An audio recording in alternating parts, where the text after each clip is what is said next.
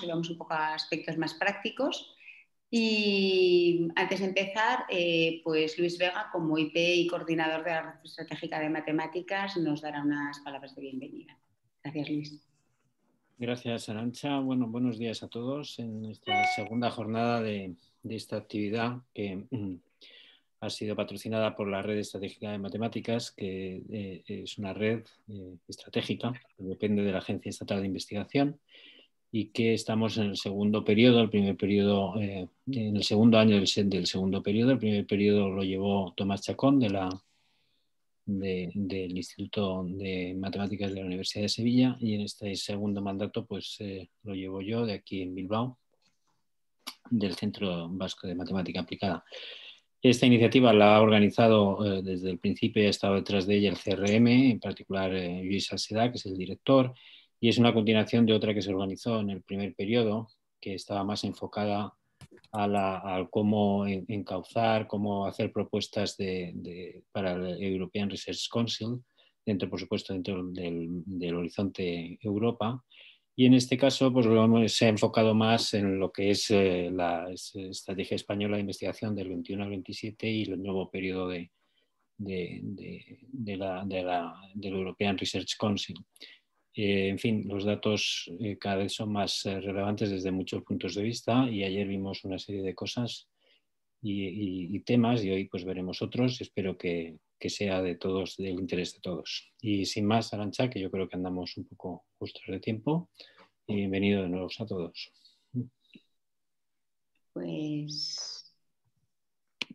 eh, a mí me gustaría dar paso a nuestra primera ponente, que es Marta Jordán. En primer lugar, muchas gracias Marta por haber aceptado nuestra invitación y, en este caso por habernos además eh, asesorado y apoyado en, diversas preguntas en torno al, tema que, vamos a tratar.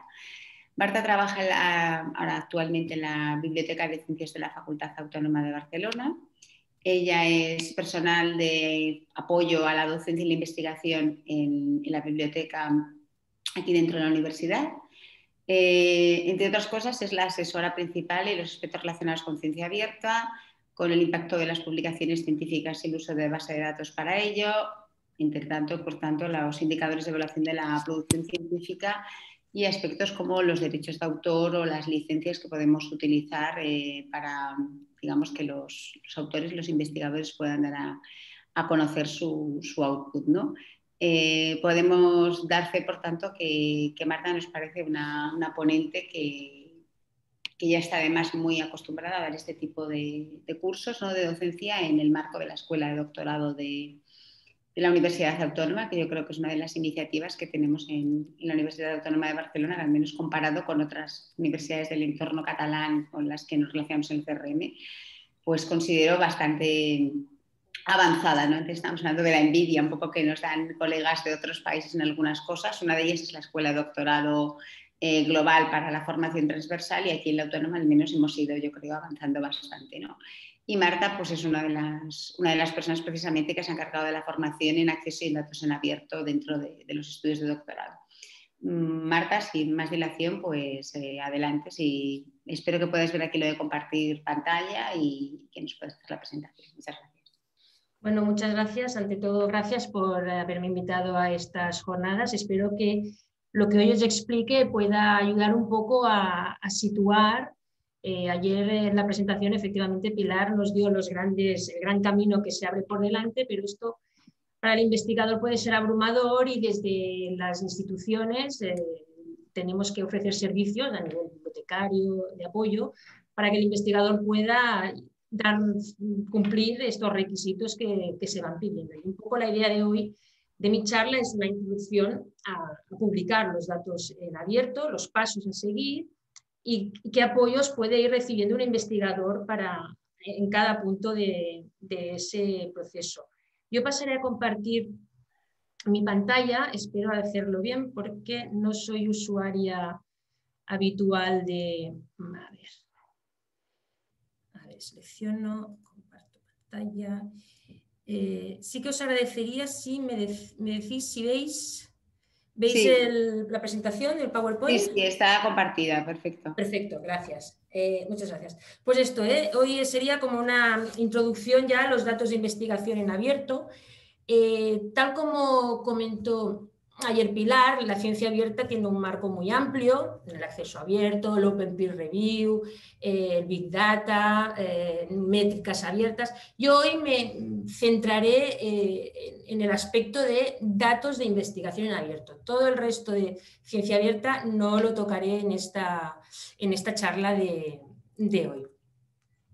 La idea un poco es explicar eh, qué son los datos de investigación, qué beneficios le aporta a los investigadores eh, ponerlos en abierto, eh, qué tipos de datos hay y cuáles son los que se ponen abierto. No todos los datos que generéis a lo largo de vuestra investigación acabarán publicados en abierto, obviamente. La obligatoriedad, ¿quién me obliga? ¿Quién me marca el camino? ¿Quién, eh, qué, convocatorias? Aquí pasaré un poco por encima porque ayer Pilar ya puso, ah, ya habló de, las convocatorias europeas y nacionales. Los principios FAIR los vamos a detallar un poco porque se van mencionando y es para que el investigador tenga claro qué significa esto de findable, accessible, interoperable y reusable. Hablaremos del plan de gestión de datos, aunque después de mí habrá una intervención ya mucho más práctica de, primera mano de un investigador que rellena el plan de gestión de datos. Desde bibliotecas damos apoyo al investigador. Nosotros no lo redactamos, obviamente, el plan de gestión de datos, pero sí que podemos dar apoyo con guías, ayudas, manuales, eh, etc. Eh, hablaremos un poco de los repositorios de datos y finalmente buenas prácticas que deberían seguir los investigadores cuando quieren poner sus datos de investigación en, abierto. Primero sería detallar, aunque ayer ya también Pilar mm, habló del tema, qué son los datos de investigación. ¿no? Pues es información factual y numérica que ha de ser recogida para ser examinada, considerada. Y ejemplos son estadísticas, resultados de experimentos, medidas, eh, observaciones, en, en definitiva, son los registros numéricos textuales, imágenes, sonidos que se utilizan como fuente primaria para la investigación y que son aceptados para validar los resultados de esa ah, investigación. Ahora, tenemos varias tipos A ver si le recoge lo que tienes en la mesa para que Luisa pueda limpiar, ¿vale? Sí, si alguien podría, alguien tiene el micro abierto, eh, sí. Bueno, continúo. Em, ¿Qué tipologías de datos? Lo que decíamos, eh, un investigador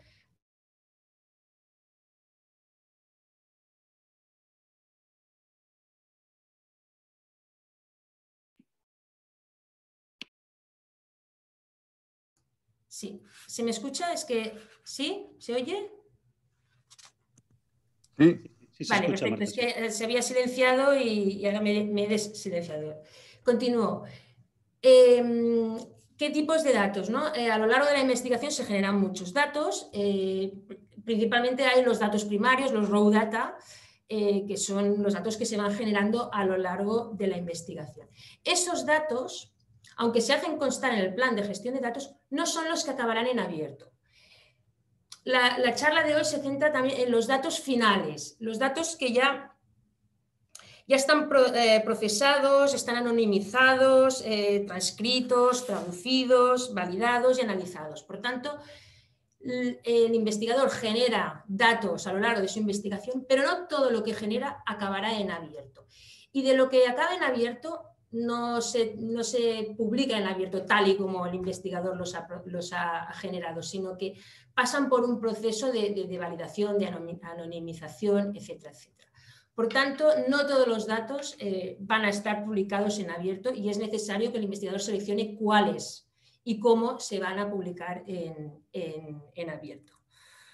En todo caso, ah, en todo caso eh, sí que hay que tener presente que los datos eh, se generan desde el inicio de la investigación y pasan por un ciclo que es el diseño, la planificación de qué datos vamos a recoger, la descripción de esos datos, dónde guardo esos datos, cómo los guardo, cómo accederé a ellos y finalmente la fase final es muy bien y ahora estos datos quiero publicarlos en abierto, por tanto voy a tenerlos que poner en algún tipo de plataforma que, me, permita que todo el mundo pueda acceder a los datos y que asegure un, acceso a, largo plazo descritos correctamente y preservados eh, a lo largo del, del tiempo. Por tanto, en, este ciclo de vida de los datos científicos, desde el mismo inicio, desde que ya tenéis el proyecto, hay que comenzar a planificar qué datos generaréis, cómo los recogeréis y cómo los acabaréis publicando en abierto.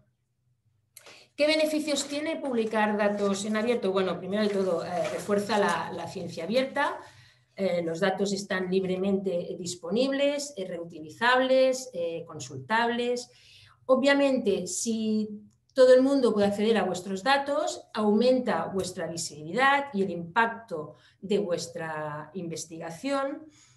Eh, los datos hay que identificarlos correctamente a través de un DOI, luego ya especificaremos cómo funciona el tema, pero la ventaja de darle un DOI, un número que identifique ese conjunto de datos, permite que esos datos sean citables, y permite eh, hacer un seguimiento de métricas, cuánta gente consulta mis datos, cuánta gente los ha descargado, quién los ha citado, quién los ha utilizado, etc.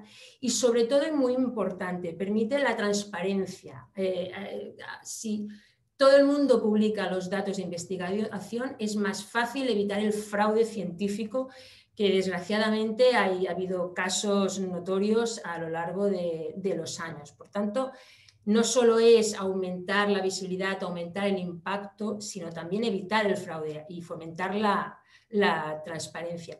Y sobre todo la, reutilización.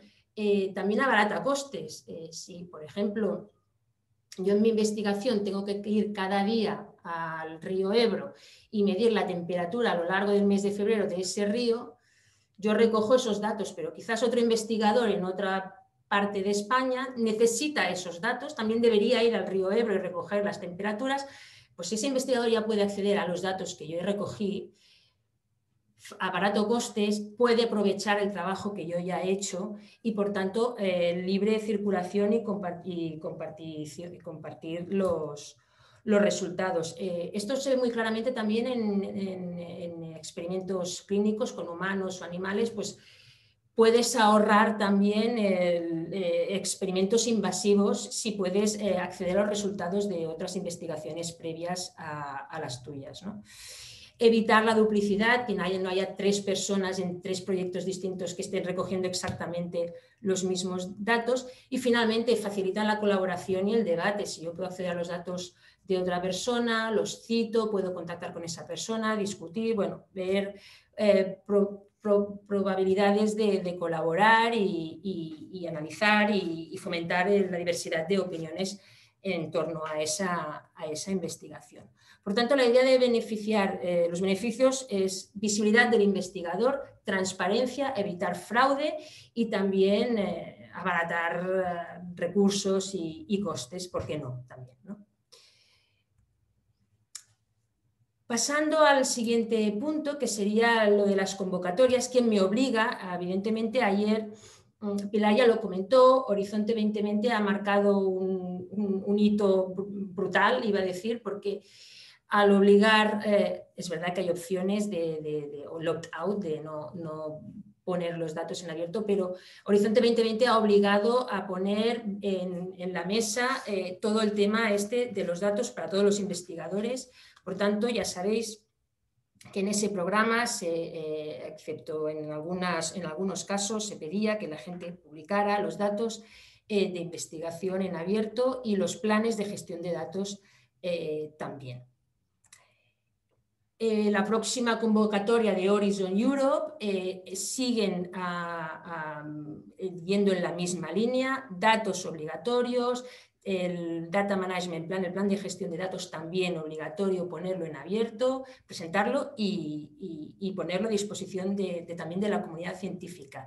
Y menciona eh, también la construcción de la European Open Science Cloud, que ayer Pilar también explicaba, esa infraestructura que permite eh, recoger una ventana única para recoger los datos y servicios eh, asociados con, con los datos. Por tanto, sigue marcando Europa el camino en esa dirección.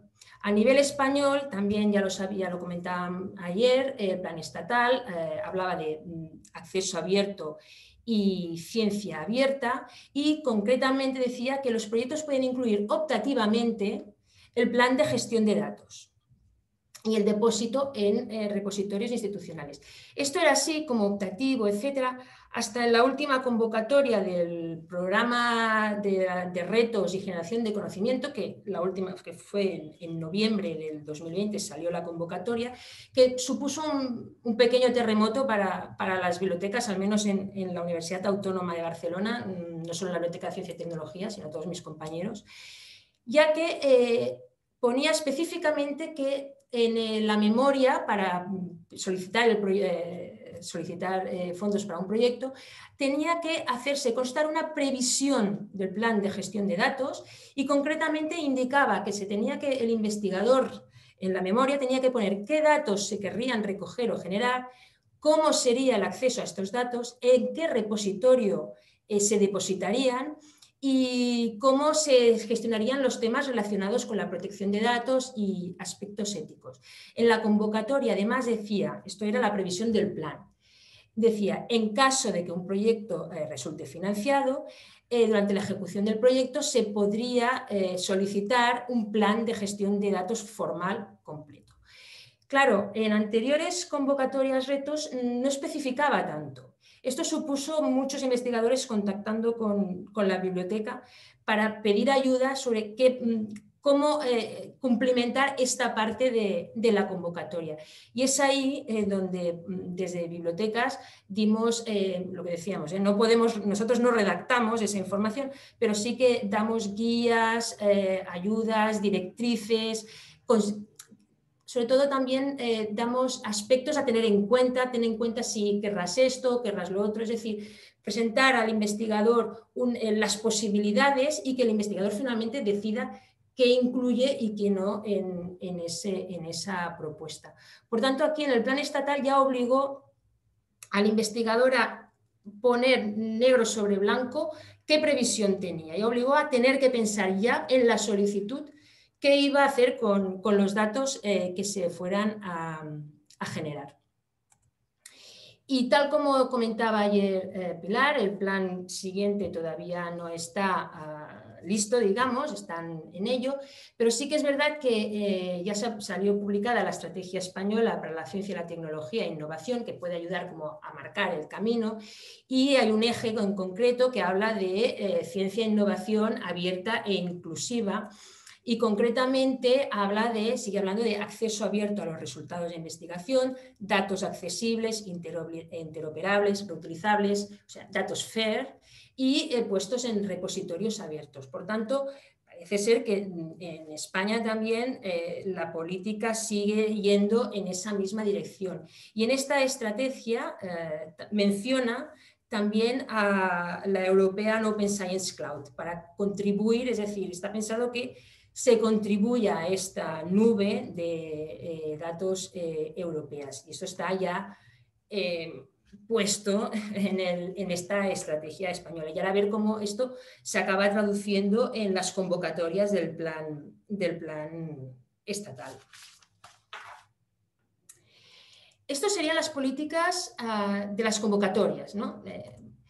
pero cada vez más las instituciones eh, están creando políticas específicas para datos de investigación. Es decir, universidades, centros de investigación hasta ahora tenían políticas de acceso abierto. Pero ahora ya se está abriendo camino aquí en España la ah, creación de políticas eh, institucionales sobre los datos eh, de investigación en abierto.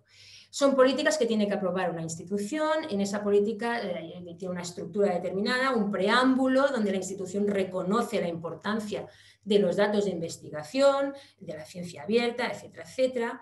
En esa política eh, marca qué jurisdicción tiene esa política, a quién afecta, a los miembros de una universidad, de un centro de investigación, etcétera, etcétera. Y también tienen que eh, tenerse en cuenta y eh, ponerse los aspectos legales referentes a la propiedad intelectual. también tienen que, en esa política tienen que constar los aspectos relativos al depósito de los datos, ¿no? pues, qué repositorio tiene la institución para poner datos, cómo se preservarán esos datos, qué compromisos eh, FER tiene esa institución, el periodo de preservación, qué tipo de licencias. Y las responsabilidades de los agentes implicados. En esa política tiene que decir, bueno, los investigadores son responsables de realizar una serie de tareas en relación a los datos de investigación y la universidad o la institución tiene otra serie de responsabilidades para conseguir que esto se lleve a cabo. Y finalmente en esa política eh, también hay un periodo de validez, de validez y de revisión. Pues esta política se revisará cada X años para irla actualizando. En estos momentos, eh, políticas específicas aprobadas eh, sobre datos de investigación, en Cataluña se ha aprobado la, Universidad de Barcelona y la Universidad Autónoma de Barcelona. Y mm, probablemente este es un camino que se abre también para otras instituciones. Aquí un poco se marca el compromiso. Si una institución ve claro que el tema del acceso abierto, de los datos en abierto, en definitiva la ciencia abierta, son estratégicos, esa institución puede promover políticas específicas en, estas, materias.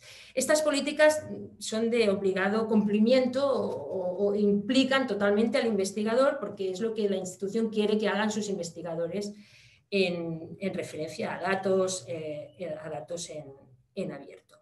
Por tanto, tenemos lo que marcan las convocatorias, lo que marcan las propias instituciones sobre datos en abierto y finalmente nos hemos encontrado en bibliotecas eh, otra obligatoriedad insospechada en el sentido de que empezó en, un momento, empezaron a contactar con nosotros investigadores que no tenían ningún proyecto, no estaban, o sí, a veces estaban en algún proyecto, pero se encontraban que no, les, no, es que les obligara la agencia o su institución. Es que cuando la revista eh, enviaban su manuscrito a una revista y la revista aceptaba ese artículo, la misma revista tiene una política específica en cuanto a los datos relacionados con ese artículo.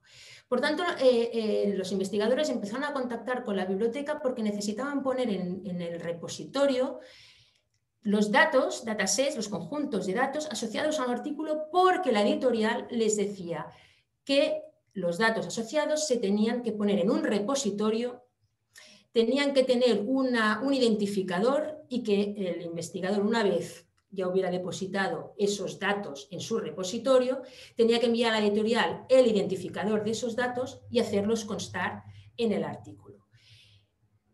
Hay muchos tipos de políticas editoriales. Hay editoriales que obligan a, en todas mis revistas, todos los datos te obligaremos a ponerlos en algún repositorio. En otras editoriales hacen una clasificación de tipologías de revistas, estamos hablando de grandes editoriales que tienen muchas revistas, dicen, bueno, tenemos tres clasificaciones de revistas, en unas, no, en, según en qué revistas publiques, no te vamos a obligar a nada, en otras lo recomendaremos strongly, eh, recomendamos mucho que esto lo pongas, pero no lo obligan, y en, un tercer bloque de revistas, eh, pues en estas revistas te vamos a obligar a poner los datos en abierto. Y hay otras editoriales que lo que hacen es recomendar. También en algunas eh, os recomiendan algún repositorio en concreto, algunas no se mojan y dicen, eh, escoge el repositorio que quieras o mencionan tu repositorio institucional. En otras dicen, mm, damos eh, algunas recomendaciones de repositorios temáticos y dan una lista de repositorios o en otras te pueden obligar a ponerlo en un repositorio concreto. Por tanto, ya mm, vemos que al investigador, o por una vía, por la vía institucional, por la vía del proyecto o por la vía de la editorial donde va a publicar, se ve abocado a acabar eh, publicando sus datos de, investigación en abierto. Sobre las políticas editoriales encontraréis la información cuando se publicáis en alguna revista, normalmente la información sobre si te obligan a poner o no los datos en algún repositorio eh, aparece en el apartado en las Author Guidelines, hay un apartado de Data Availability, algún apartado similar, donde dan esas recomendaciones. Estos que tenéis en pantalla es una selección de grandes editoriales. Todas estas tienen un apartado donde especifican qué quieren que hagáis con esos datos, si obligan, no obligan, si recomiendan, etcétera, etcétera. Por tanto, ya veis que por todos los caminos van llevando a la publicación de, datos en, en abierto. Claro, cuando todo el mundo te dice, pon los datos en abierto, ponlos en abierto, muy bien, pero no quiero que los pongas en abierto de cualquier manera, tienen que cumplir unos requisitos FAIR. Claro, aquí está que a veces eh, un investigador podría decir, bueno, pues yo cojo mi dataset, que es un, pongamos un Excel, tengo una página web eh, personal eh, donde tengo puesto mi currículum y todo, pues pongo mi Excel en, esa página web. Sí, correcto, él está en internet y lo podrían encontrar, pero esto no es ponerlos, publicar los datos eh, siguiendo los requisitos FAIR.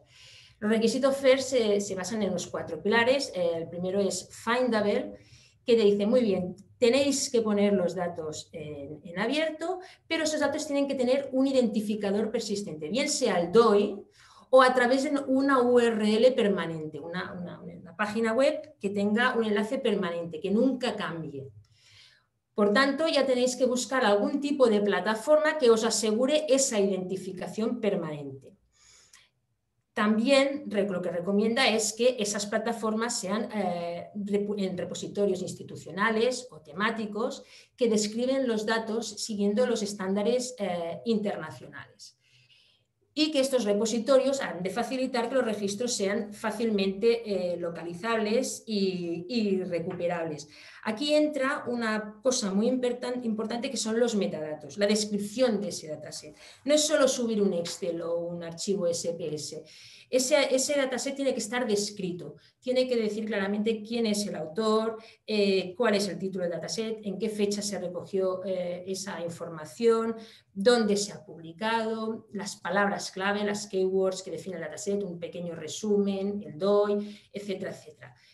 Esa descripción es fundamental para hacer eh, la información localizable y esa, esa descripción tiene que estar eh, hecha eh, siguiendo criterios estándar, de tal manera que permita que todo el mundo pueda acceder desde cualquier parte, desde cualquier, hasta la búsqueda en Google, pueda acceder a esos datos. De hecho, el tema de los metadatos es lo que hemos hecho los bibliotecarios toda la vida cuando catalogábamos libros en fichas, eh, eso eran los metadatos. Pues es exactamente lo mismo. Cogemos en el repositorio, cogemos ese dataset y lo describimos lo catalogamos para que sean, eh, utilizando formatos estándar, para que sean fácilmente localizables. Luego está el tema de la accesibilidad. Esa plataforma, ese repositorio que tiene esos datos y metadatos, tiene que ser accesible, por tanto tiene que utilizar protocolos de comunicación abiertos y estándar para que recolectores, buscadores puedan acceder a esa información y se pueda intercambiar la información entre, entre plataformas. Lo que decíamos ayer, si no recuerdo mal, eh, nos presentaron eh, el repositorio BIRD y que comentaron, no, y está en Recolecta, claro, está en Recolecta porque se utilizan protocolos de comunicación estándar. Y eso es fundamental. Para que te localicen, para que, para que puedan acceder a ti, tienes que utilizar protocolos estándar eh, que permitan este intercambio de, de datos e información. Y también estos repositorios para cumplir con los principios FAIR, tiene que utilizar eh, los metadatos, que, los metadatos esa ficha catalográfica, tiene que utilizar estándares también, eh, lenguajes estándar eh, internacionales. Aquí tenéis alguna serie de ejemplos, ¿no? El, este de color naranja es el estándar Dublin Core, hay el datasite, hay formato ISO, por tanto, en cuanto a códigos, nomenclaturas, etcétera, hay que utilizar eh, estándares internacionales y hay que asegurarse que ese repositorio que escogéis, ese repositorio de datos, utiliza estos estándares que permiten que todas las plataformas se entiendan. Y eh, cuando yo digo que esto es el campo título, todo el mundo sepa que esto es el título de, este, de este dataset. Por tanto, estos estándares permiten que la información sea fácilmente localizable e interoperable. Y finalmente, ¿todo esto para qué? ¿Para qué necesito mis estándares? ¿Para qué necesito que todo el mundo me encuentre y me localice mis datos? Pues porque los datos tienen una misión final, los datos en abierto tienen una misión final última, que es que sean reutilizables, que alguien pueda acceder a ellos, pueda consultarlos y pueda construir también una investigación en base a, a los datos que yo haya podido generar. Por tanto, es muy importante que al poner esos datos en abierto, estos datos tienen que ir acompañados de una descripción exhaustiva y detallada de, cuál ha sido el proceso de recogida de los datos. No es solo poner lo que decíamos, el Excel, sino que tiene que decirse, vale, ¿qué metodología ha utilizado eh, para recoger esos datos? ¿En qué condiciones atmosféricas? Eh, ¿En qué días del año? Mm, no sé, toda la metodología de, recogida. ¿Qué programa informático? Eh, leerá esos datos mejor, etc. Por tanto, eh, cada área temática hay que describir esos datos, describirlos exhaustivamente. Toda la metodología de recogida tiene que estar allí presente para que quien vea ese dataset pueda entender qué, está, qué tiene delante. Y para esa descripción, lo que decíamos, estándares temáticos eh, para, para que todo el mundo pueda entender de qué estamos hablando. Y finalmente, aplicar las licencias Creative Commons apropiadas para que esos datos puedan reutilizarse. Pueden ser licencia Creative Commons, utilizada es la CC BY, o eh, de dominio público, el, dominio público a, los datos de, investigación. Por tanto, estos serían los principios FAIR y es la importancia que tiene de que esos datos tienen que estar en un repositorio, en una plataforma que permita que todo el mundo pueda acceder. Y esa plataforma os va a dar todas las facilidades para que podáis poner esos eh, datos en, abierto. El siguiente paso sería eh, un documento que es fundamental, es el pilar, porque es el que será como el plan estratégico eh, de, vuestros datos de investigación. ¿no? Es el plan de gestión de datos.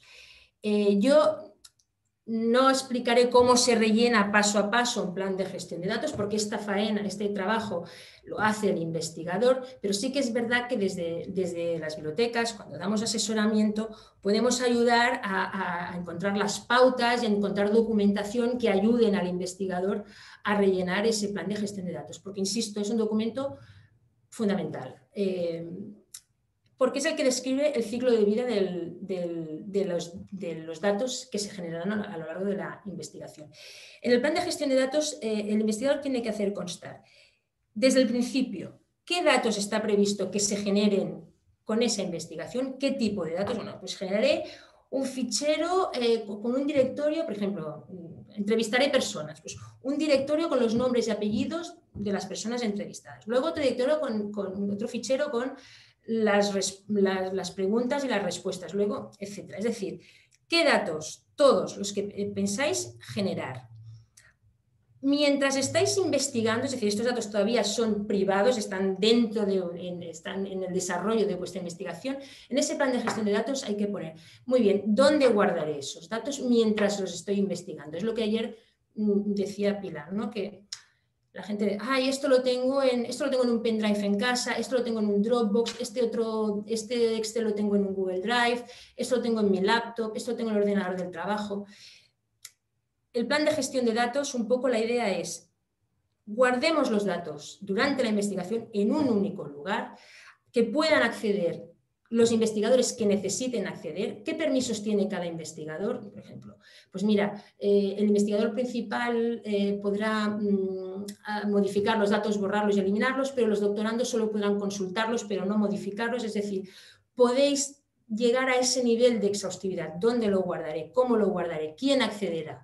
No quiero decir que tengáis que poner toda esta información, pero es si podéis, eh, si es necesario eh, establecer permisos de acceso, pues en ese plan de gestión de datos hay que, hay que hacerlo ah, constar. Y luego también indicar, muy bien, de todos los datos que yo genero, cuáles pondré en abierto. No todos, obviamente, hay algunos que por cuestiones de privacidad de datos, datos sensibles, no, nunca saldrán en abierto y otros tengo que anonimizarlos primero, pero acabarán en abierto, otros no tendrán problema de ponerse en abierto. Y en este plan de gestión de datos se indica cuáles se ponen en abierto dónde los pondréis en abierto, en qué repositorio. También pide los estándares, los metadatos, lo que decíamos del Dublin Core, DataSite, pues, eh, el repositorio escogido, qué metadatos, qué estándar de metadatos utiliza, mm, qué campos recupera. Pues mira, se describirán con el título, el autor, la metodología, es decir, tenéis que detallar de qué manera vais a permitir que se recupere esa información. Y también ya una vez ya publicados esos datos en abierto, en el plan de gestión de datos también tenéis que poner cómo se preservarán esos datos. Y ahí está el trabajo del repositorio. Eh, los repositorios normalmente tienen un plan de preservación para los datos a largo plazo, pues esto se tiene que hacer constar. Pues el repositorio de mi institución o el repositorio escogido tiene un plan de preservación. Esta información nos la proporciona el personal de apoyo de la biblioteca o, los mismos repositorios tienen apartados donde se explica ah, esta información. Por tanto, ya veis que el plan de gestión de datos es un documento que marcará el camino de, la generación de datos y es muy importante, es, básico. Aquí teníais eh, una, presentación de la, de la CRUE, hizo este, esta infografía sobre los diferentes apartados del, plan de gestión de datos, que es lo que decíamos, identificarlos, cómo los organizaremos, cómo los documentaremos, eh, dónde los almacenarás mientras estés trabajando con esos datos, qué políticas tendrán esos datos, cómo los vas a difundir, etcétera, y las responsabilidades de quién es responsable de, esos datos. Claro, el documento, el plan de gestión de datos es un documento bastante, bueno, hay de muchos tipos, ¿eh? los he visto muy breves y los he visto muy amplios, pero es un documento muy elaborado. Por tanto, eh, hay plantillas, plantillas que permiten, eh, tienes ya los apartados y permite al investigador ir rellenando. Hay diversos tipos de plantilla. Eh, por ejemplo, de Horizonte 2020 tienen una plantilla en formato ODT, tipo se abre en un Word, con los apartados y podéis ir rellenándolo. También, por ejemplo, hay instituciones como el CSIC, que tiene una plantilla para proyectos Horizonte 2020, que está en PDF, eh, que también es lo mismo, es el documento, y ahí los investigadores pueden ir rellenando los apartados. Pero también hay aplicaciones que permiten hacer, los planes de gestión de datos online. Es una aplicación, por ejemplo, la de OpenEREUDAT, que es Argos, esta es, gratuita, o el Digital Curation Center tiene el DMP Online, que es muy conocido, eh, que son aplicaciones que tienen una plantilla, decís qué proyecto, para qué proyecto queréis hacer el plan de gestión de datos, pues para una Horizonte 2020. Y en esa plantilla eh, ya, se ya hay los apartados de, esa convocatoria, los investigadores tienen que ir rellenando eh, esos apartados y, finalmente mm, ese programa permite generar un PDF que ya será el documento, el deliberable, el, documento que se, se entregará.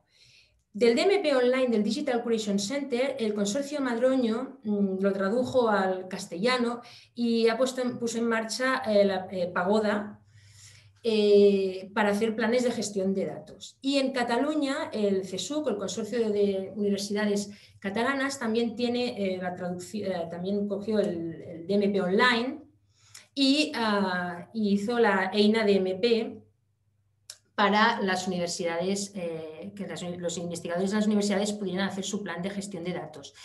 En el del CESU, que es el que obviamente por proximidad es el que conozco, no solo hay, en, ese programa mm, podéis, pueden haber varias plantillas, la Horizonte 2020 es la más típica, pero en el del CESUC ah, hay también una plantilla para los proyectos del plan estatal, y también una cosa que consideramos que es muy interesante es que, claro, a los investigadores senior todo esto del plan de gestión de datos les ha cogido ya cuando llevaban años investigando y hay que reciclarse rápido. Pero sí que es verdad que los jóvenes investigadores tienen la posibilidad de aprender ya a investigar con datos FAIR.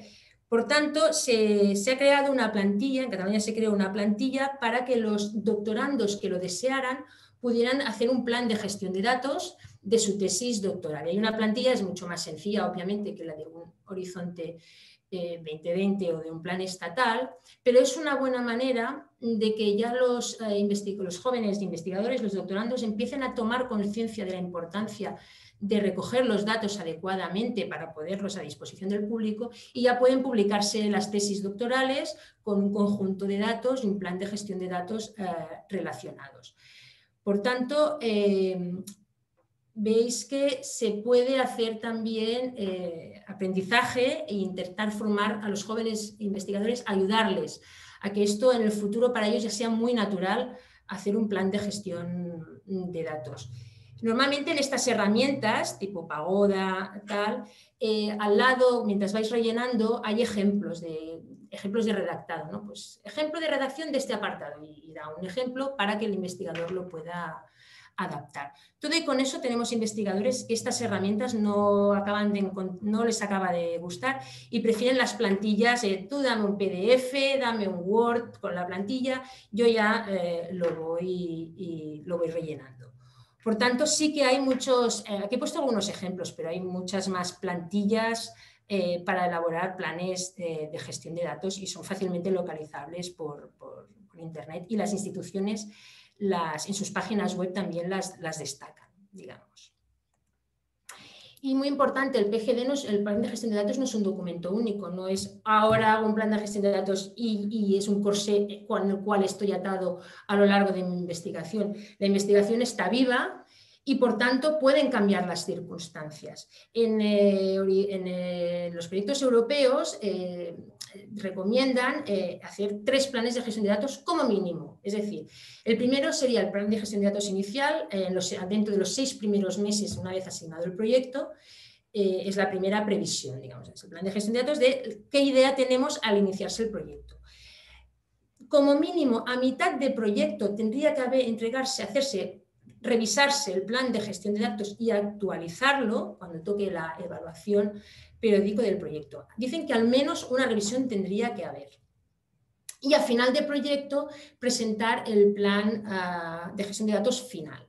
¿Por qué? Porque, claro, a lo largo de la investigación cambian las circunstancias. Quizás yo al principio no había previsto ah, recoger algún, tipo de dato y a lo largo de mi investigación he visto la necesidad de, ostras, pues es interesante que recojamos esta información. Esto es un nuevo dataset, pues ampliamos el plan, de, modificamos el plan de gestión de datos, lo actualizamos e incluimos esa nueva información. O mira, yo aquí pensé que podría esto publicarlo en abierto y resulta que este acá tendré que acabar cerrando este dataset porque esto no se puede publicar. Por tanto, eh, el dataset se va actualizar, el plan de gestión de datos se va actualizando para reflejar eh, la vida de vuestra ah, investigación. Ya os digo, a mitad de proyecto recomiendan al menos una revisión, pero habría que revisar y realizar un nuevo plan de gestión, no es hacer, un nuevo plan de gestión de datos, es revisar y actualizar el plan de gestión de datos siempre que cambie una circunstancia en vuestra investigación, que haya un cambio importante. Por tanto, puede haber varios eh, planes de gestión de datos de un proyecto. Y finalmente, estos planes de gestión de datos tienen que estar en abierto también, tienen que ser accesibles. De hecho, eh, es una fuente muy buena de información de, investigadores que vienen a la biblioteca y dicen, no he hecho nunca un plan de gestión de datos. Aparte de nosotros dar apoyo y dar información, también muchas veces lo que hacemos es darles ejemplos de otros planes de gestión de datos ya publicados y hechos de otros proyectos para que ellos vean cómo respira un plan de gestión de datos y puedan utilizarlo como, inspiración o, como, como, ejemplo. Por tanto, eh, leer otros planes de gestión de datos es un aprendizaje buenísimo para hacer tu propio plan eh, de gestión de, datos. Y después, claro, todo esto estamos hablando de los datos, los planes de gestión de datos, ¿dónde se pone todo? En un repositorio institucional. Y recordad que el repositorio un repositorio, he dicho institucional, pero no, en un repositorio. Hay diversos tipos de repositorio, como ahora veremos.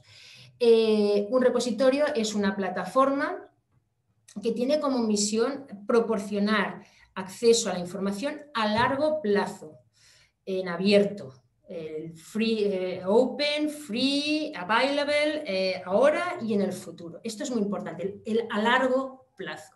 Garantizar que de aquí X años aquello seguirá siendo accesible a través de esa URL, a través de ese, de ese Por tanto, cuando un investigador escoge un repositorio o tiene su repositorio institucional, la institución debe velar para que puedan dar eh, acogida a esos datos de investigación FAIR. Por tanto, habría que hacer como una checklist para ver si el repositorio es FAIR o no, no. Pues ese repositorio asigna a identificadores permanentes, un DOI, sí. Utiliza estándares internacionales, facilitan esa búsqueda y, recuperación, los datos y los metadatos eh, son accesibles a través de protocolos de comunicación estándar, los metadatos están normalizados, se describe exhaustivamente, hay licencias Creative Commons, eh, es decir, es un repositorio FAIR. Esto es lo que vosotros investigadores tenéis que aseguraros que donde lo vayáis a poner cumple esos requisitos. Y la institución, vuestra institución, si tiene un repositorio, os recomienda un repositorio, tiene que velar para recomendaros un repositorio que sea FAIR. Por tanto, eh, eh, hacer esta checklist y ver que el repositorio cumple con esos requisitos que al final es lo que os estará pidiendo la agencia europea correspondiente o etcétera. Claro, para datos hay varios tipos de repositorio. Uno son los repositorios institucionales. Pues en la Universidad Autónoma de Barcelona tenemos el Depósito Digital de Documentos, el DDD, que es el repositorio institucional que acoge no solo datos de investigación, sino también pues, eh, las tesis doctorales, artículos, etcétera, etcétera. O el digital CSIC es otro repositorio, mm, como Berta ayer vimos, como el del Centro de Recerca Matemática, son repositorios institucionales, lo que hay que velar que ese repositorio institucional también acoja datos, también tenga, eh, pueda eh, acoger datos FAIR. Luego están los repositorios temáticos. Hay áreas de conocimiento que hay una serie de repositorios muy eh, ya conocidos eh, y por tanto los investigadores se ven muy abocados a, depositar allí sus datos de investigación. Eh, porque es la, costumbre en, esa área temática. Y después hay una serie de repositorios que son multidisciplinares, no pertenecen a ninguna institución, no son de un área concreta, que eh, hay dos tipos de repositorios eh, multidisciplinares. Aquellos que aceptan todo tipo de documentos, incluido datasets, por ejemplo, eh, el más conocido es Zenodo, y luego hay repositorios multidisciplinares solo para datos de investigación, como por ejemplo sería Dryad o, Dataverse. Eh, en, el marco del consorcio de universidades ah, mm, catalanas se hizo un documento, yo ahora voy a ver si puedo entrar para que lo veáis. Está en catalán, pero yo creo que puede ser de, puede ser de utilidad. Es un documento donde eh, hay una tabla, eh, una tabla comparativa de los principales repositorios multidisciplinares con cada una de sus características. Esto es porque si algún investigador no, no pone sus datos en su repositorio institucional, eh, por, el motivo X que sea, y está dudando en, si yo en Zenodo, en Fisher o en Dryad, en esta tabla comparativa están todas las características de cada uno de los repositorios, qué condiciones tiene, etcétera, etcétera. Esto para datos de investigación. ¿eh? Y esto, pues, este documento quizás puede ayudar al investigador a escoger uno de, los, repositorios. Por otra parte, aparte de este documento, también hay un recurso, Retresdata, donde eh, es el registro donde podéis encontrar todos los repositorios de datos que actualmente existen. Claro, aquí podéis encontrar, si buscáis un repositorio, por ejemplo, el de la Universidad Autónoma de Barcelona, ponéis el nombre del repositorio y os dice, sí, eh, el DDD eh, recoge datos de, investigación. Cuando, digo DDD puedo decir el del, digital CSIC, etcétera, ¿vale? Por tanto, podéis poner eh, nombres de repositorios institucionales a ver si ese repositorio ah, acoge datos de, investigación. Luego también podéis buscar los repositorios multidisciplinares tipo Zenodo, donde también está ah, la información. Pero también podéis buscar por áreas temáticas. Aquí eh, tenéis el buscador, perdón, eh, y por países también. Es decir, ¿qué repositorios hay? Bueno, esperad, que, tengo la búsqueda hecha, voy a la página principal. ¿Qué repositorios eh, hay en España eh, que acojan datos de, investigación? Pues aquí mm, podríais buscar esa información y saber qué repositorios españoles habría en estos momentos que, que acogen estos datos de investigación. Y lo mismo por ah, áreas temáticas ah, que harán... Había aquí, ahora no lo, no lo, estoy sabiendo ver, pero también había subjects. En alguna parte eh, te podía eh, buscar por, por, áreas temáticas también. Aquí, mira, al principio de todo, ¿de acuerdo? Tenéis áreas temáticas y ver qué repositorios acogen datos de esas áreas temáticas. Por tanto, ya veis que hay posibilidad de escoger repositorio, aunque yo soy muy partidaria, quizás es porque pertenezco a una institución, yo soy muy partidaria de los repositorios institucionales, se acogen datos de investigación y la universidad o el centro de investigación está fomentando que sus investigadores eh, depositen en ese repositorio, pues eh, es una opción buenísima para, para, para, para escoger publicar los datos en, en el repositorio institucional si, si, es posible, digamos. ¿no?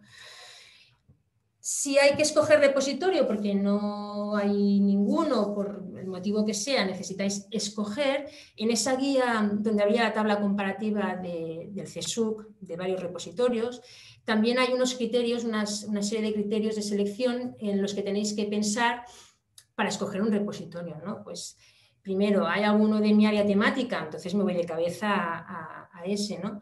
si permite publicar los datos en el formato que estamos utilizando, si se permiten tipologías de acceso, pues abierto, restringido, si embargan o no embargan, las licencias que utilizan, si hay costes asociados, evidentemente hay repositorios que dicen hay que hacer un, pagar o quizás eh, mira, aceptamos gratuitamente hasta, me invento, 5 gigas de, lo que ocupe el dataset y a partir de 5 gigas eh, hay que pagar una, una, fee para una cuota para, para, que, para hospedar ese, ese, dataset. Es decir, hay una serie de criterios eh, a tener en cuenta. Y finalmente, ya, pues yo veo que ya se, acerca el tiempo, eh, un repaso rápido de buenas prácticas. Eh, muy bien, decís, ok, voy a poner mis datos en abierto, porque me obligan o porque yo eh, quiero. ¿Qué cosas tengo que tener en cuenta? Bueno, muy importante, acompañar vuestro conjunto de datos de un archivo, de un archivo tipo README con los detalles de ese dataset. Ese documento es muy importante. Yo diría que junto con el plan de gestión de datos, que es el documento estratégico, eh, a la hora de publicar ya los datos en abiertos, este, esto ya estamos hablando de, del dato, de, los datos, de los datos ya publicados, ¿eh? ya en el repositorio. Pues ese archivo Excel, pongamos, eh, acompañarlo de un archivo tipo README que ayude a quien lea vuestro, quien acceda a vuestros datos a entenderlos. Problema que nos hemos encontrado. Hay repositorios que eh, los investigadores han hecho algo tipo README mm, y te encuentras una cosa tipo esto, ¿no? Pues esto es de un, un dataset que está en Zenodo y el investigador hizo este archivo README con una serie de información. Claro, esto puede ser muy, eh, muy variado. Aquí tenemos otro ejemplo un poco más detallado. Esto es mm, para que os hagáis la idea, ¿no? un investigador tiene un documento, pongamos en Excel, y se encuentra luego que para entender ese Excel más mejor, tiene esto de acompañamiento. Este ya es un poco más elaborado, pero nos encontramos muchas veces que eh, los investigadores acceden a datos y el ritmo de acompañamiento o no existe o es tan, resumido que no ayuda en nada. Desde la universidad, en nuestro caso, en la Universidad Autónoma de Barcelona, vimos que el tema del archivo README era muy, importante y generamos una, plantilla, eh, eh, tenemos una en catalán, en castellano y otra en inglés, que el investigador escoge la que desea, una plantilla de README. Abro la española, por ejemplo, con las instrucciones y aquí tenemos eh, los campos, el investigador descarga esta plantilla y rellena los campos, eh, título, la autoría, la descripción, resumen, la información para el acceso, qué licencias, qué doy, las versiones, eh, la información metodológica. Veis que es, bastante mm, completa. He de decir que esta plantilla README que hemos hecho en la, Autónoma no, no, nos la hemos sacado de, no nos la hemos inventado, eh, aquí ya lo ponemos, está creada mm, a, partir de plantillas eh, README de otras universidades, escogimos un poco lo mejor, eh, lo más interesante de cada plantilla e hicimos esta propuesta. Por tanto, hay muchas plantillas gratuitas por internet. encuentro que es muy interesante que ofrezcamos al investigador la posibilidad de una plantilla o unas directrices para hacer una plantilla README. No tiene por qué ser una plantilla así, como esta que tenemos en la Universidad Autónoma. Por ejemplo, en el, en el CSIC no tiene una plantilla como esta que hemos visto, pero sí que tienen un documento eh, que dice, bueno, para depositar datos en el digital CSIC, tiene que ir acompañado, ese dataset tiene que ir acompañado de, una, de un README, una plantilla README, y la plantilla README tiene que tener esta, esta información. Es decir, no, no, tiene forma de plantilla, pero tiene que contener esta, esto, esto, la metodología. Por tanto, quizás no en forma de plantilla, pero muchas instituciones ya están diciendo, si, si queremos que esto se reutilice, tenemos que hacerlo fácil. Y para hacerlo fácil, rellenad esta información porque será de mucha ayuda a cualquier eh, investigador. Por tanto, una buena plantilla README, en este caso la de la UAB, eh, en el repositorio, eh, aquí tenemos un dataset que está en nuestro repositorio, el archivo Excel, la investigadora rellenó los datos, completamente y fijaros que en este caso eh, ella escogió la plantilla en inglés, pero la descripción la puso en los tres idiomas, en inglés, en catalán y en castellano, porque lo que quiere es que cualquiera que llegue a esta plantilla pueda entender ese Excel que acompaña, qué información contiene. Y fijaros aquí que eh, la lista de variables que tiene ese Excel, cómo se recogen cuando no hay información no conocida, pues cómo se, cómo se codifica esa información. Por lo tanto, una plantilla README puede ser muy exhaustiva, pero como más exhaustiva sea, mm, más fácil será para el que lea esa información eh, entenderla. Los nombres de los ficheros identificables, lo que decía ayer Pilar, ¿no? Eh, tipo eh, prueba 1, revisión 2, ok, final, final, que decía ella. Bueno, esto no tiene que ser así y por tanto hay que establecer algún tipo de convención para nombrar los ficheros y que todo el, todo el mundo que esté involucrado en ese proyecto, todos los investigadores utilicen la misma convención. Pues se, llamará, empezará por estas siglas, guion bajo, V1, eh, guion bajo y la fecha en formato mes, año, día, año, mes, día, lo que queráis. Pero hacer eh, los nombres los ficheros identificables y utilizar la misma convención todo el mundo que está implicado en ese proyecto. Recomendable, ficheros en formatos abiertos, TXT, CSV, para permitir que desde cualquier software se puedan ah, descargar esos datos. Es cierto que nos encontramos que mucha gente utiliza Office, Excel, y parece casi que Office eh, todo, el mundo puede eh, leerlo, pero la recomendación es formatos abiertos, aunque luego el investigador deposita en el repositorio lo que considere pertinente. Importante, el plan de gestión de datos que acompañe a, los datos también eh, que esté en abierto, ese plan de gestión. Y muy importante, todas las, instituciones tienen mucho material de ayuda para que los investigadores puedan rellenar, elaborar el plan de gestión de, datos. El CSIC tiene una página con toda la información eh, relativa al plan de gestión de datos. El investigador no tiene que estar solo, tiene que sentirse acompañado por su institución y por, o, eh, por, su institución. Y por tanto toda la ayuda, todas las guías, todos los materiales que se puedan elaborar, que no tienen por qué ser propios, es decir, eh, la institución puede decir, mira, recomendamos esta página web del CSIC, recomendamos esta, esta guía de las universidades catalanas, recomendamos esta información del consorcio Madroño, pero darle al investigador eh, posibilidad de guías que ayuden a alimentar, a crear eh, ese plan de gestión de datos y poder eh, facilitarle al máximo el trabajo. Y muy importante también, citar los datos. Los datos tienen un DOI, los datos que estén en repositorios FAIR tienen un DOI y por tanto esto permite que se citen. Si vosotros en vuestra investigación utilizáis un dataset que habéis encontrado en abierto, evidentemente eh, tenéis que citar ese dataset. Y en este sentido se cita en el estilo de, la revista en la que publiquéis, en el estilo estándar que utilicéis, como, como si fuera una página web, como si fuera un artículo eh, científico, eh, pues citáis ese dataset. Y el interés de que tenga un DOI o esa URL permanente facilita esa citación y la localización de esa información. Y muy importante, cada conjunto de datos solo puede tener un único DOI. ¿A qué me refiero? Claro, nos encontramos a veces investigadores que han depositado eh, su dataset en Cénodo, por ejemplo, porque lo pedía el proyecto, porque por el motivo que sea, y evidentemente en Cénodo le, le asignan un DOI. Pero luego el investigador también lo quiere poner en el repositorio institucional de su centro de investigación, de, su universidad, y también lo, deposita. Claro, si no avisa, si no nos avisa, nosotros le asignaríamos, digo nosotros como bibliotecaria de institución, si un investigador a mí me da un dataset para ponerlo en el repositorio, le asignaremos un DOI. Si este artículo, si este dataset ya tiene un DOI en Cénodo, lo que no puede ser es que cuando lo ponga en otro repositorio se le asigne otro DOI a ese mismo dataset.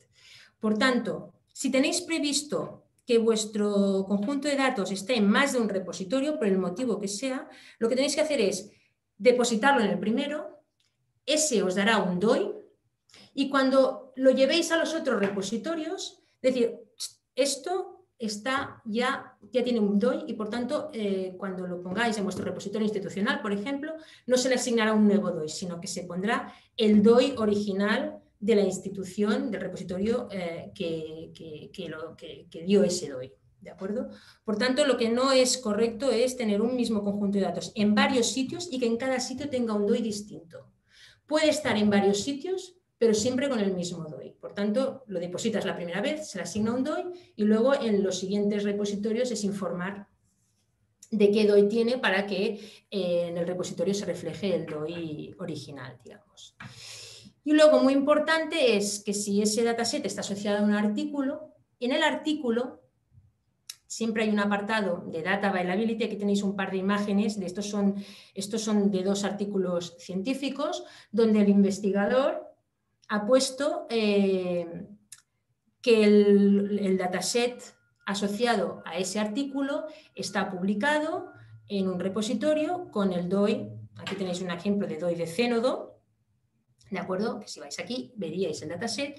Y este es otro artículo de un otro artículo que, con un dataset que está depositado en el, en el DDD, en el repositorio de la Universidad Autónoma de Barcelona, y en el artículo lo han puesto, pues el dataset está asociado eh, y lo está localizable en esta información. Y luego otra cosa que también pedimos desde los repositorios es que, claro, muchas veces el investigador nos hace llegar el dataset cuando todavía el artículo no está publicado. Dice, bueno, es un artículo enviado a la revista X, pero yo como necesito que tenga un DOI, antes de que se publique el artículo, ya pongo eh, ese dataset en abierto. En el repositorio le asignamos el DOI y ponemos una nota que dice em, datos relacionados con un artículo enviado a la revista X, solo el nombre de la revista. Sí que pedimos al investigador que cuando salga el artículo publicado en esa revista, nos informe a la biblioteca, en este caso, a los responsables del repositorio, porque nosotros pondremos la información completa del artículo en el repositorio. Aquí no sé si lo veis, esto es un dataset ¿de acuerdo? Que está en el repositorio.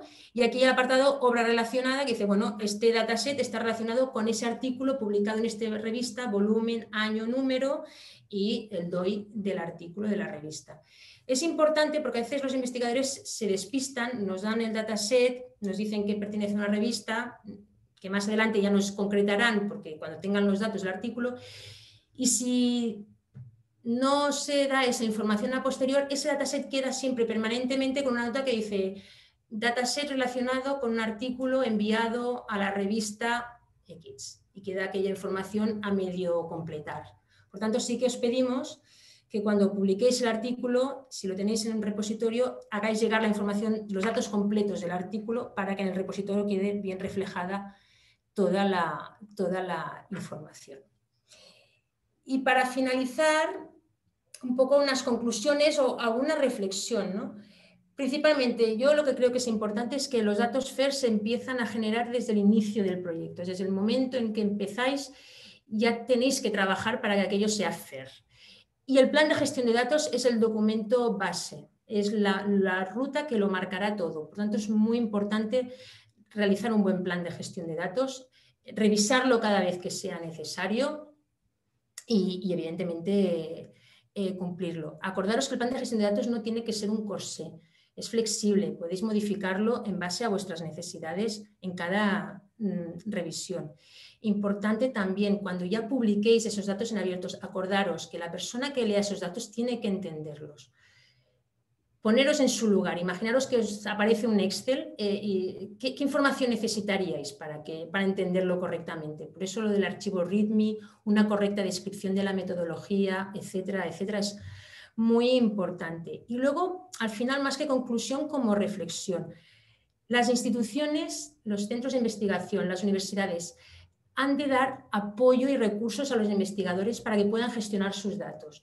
Ese apoyo mm, puede ser en forma de servicios, un servicio de bibliotecas que, de apoyo, unos servicios informáticos que también, un gabinete jurídico, una oficina de protección de datos. Todo esto eh, eh, lo pone de relieve el, Data Management Plan, el plan de gestión de datos. Eh, ves que estás obligado a, a, tocar varios aspectos de tu institución y que todo esté bien coordinado para que el investigador pueda publicar esos datos en abierto. Y por tanto, ese apoyo es en forma de recursos humanos, en forma de servicios o también mm, en forma de políticas. Pues si la institución cree que es estratégico, pues crear una, hacer una política específica, eh, una página web de, ciencia abierta de la institución, decir, estamos comprometidos, esta es nuestra política, este es nuestro repositorio, estas son las guías de ayuda para nuestros investigadores, estos son los servicios que ofrecemos a nuestros investigadores, darle la sensación al investigador que no está solo, porque eh, es, al principio es, puede ser muy, muy duro.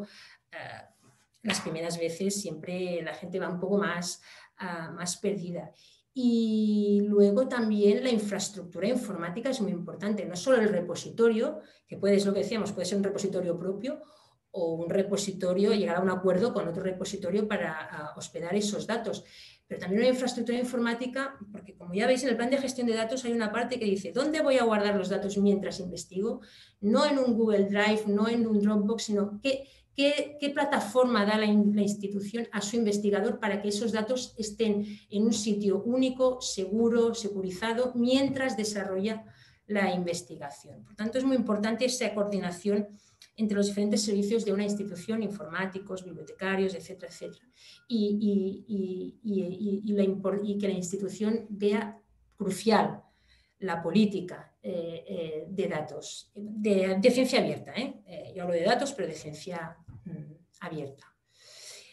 Bueno, en principio esa era mi, mi intervención. espero que os haya resultado de interés yo eh, dejo de compartir pantalla. Eh, muchas gracias. No sé si hay dudas, ¿no? No sé cómo...